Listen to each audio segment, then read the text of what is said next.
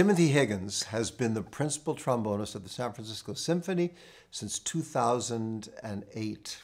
A few years into his tenure, he began to be scouted by the Vienna Philharmonic, and they were actively trying to recruit him. But knowing of his ambitions as a composer and arranger, I counseled him to stick with us in San Francisco, telling him that he would have many more opportunities to explore that side of himself with us than in Vienna.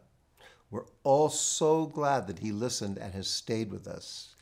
His playing in the orchestra has been stunning, and more and more, his big symphonic synthesis of Wagner and his many new pieces of his very own are making their way in the world. His trombone concerto is a big, ambitious piece, super demanding for the soloist. It's probably the most virtuoso and engaging concerto ever written for the instrument we're looking forward.